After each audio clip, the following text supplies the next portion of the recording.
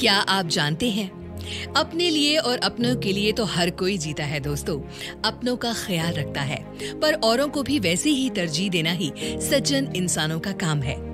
आइए दोस्तों, आज आपको 34 वर्षीय नारायण कृष्णन की ज़िंदगी से रूबरू करवाते हैं। नारायण पढ़ लिखकर एक अच्छे और मशहूर शेफ बन गए। बड़े बड़े फाइव स्टार होटल इनके बनाए खाने के मुरीद बन गए। उन्हीं दिनों कृष्णन को स्विट्जरलैंड के एक बहुत बड़े होटल का बुलावा मिला। कृष्णन बहुत खुश थे। माँ बाबा का आशीर्वाद लेने मदुरई गए। मगर वहाँ क्या देखा? वहाँ किसी भूखे भिखारी को पेट भरने के लिए गंदगी खाता देख कृष्णन बेहद उदास हो गए। उन्होंने उस भूखे को खाना खिलाया और बहुत रोए। मगर तब उन्होंने मन में ठान लिया कि अब उनके शहर में कोई भूखा नहीं सोएगा। कृष्ण ने लोगों को नहलाना, बाल काटना साफ़ सुथरा रखना और खाना खिलाना शुरू किया और ये मुहिम यूँ ही चलती गई। एक सामाजिक संगठन बनाया गया और करोड़ों का पेट भरा गया।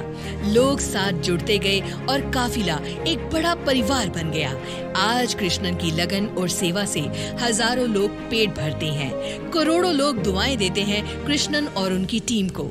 आज दोस्तों, हर देश, हर समाज, हर वर्ग को कृष्णन जैसे कोमल हृदय लोगों की ज़रूरत है। किसी ने क्या खूब कहा है दोस्तों? अपने लिए जिए तो क्या जिए? अपने लिए जिए तो क्या जिए?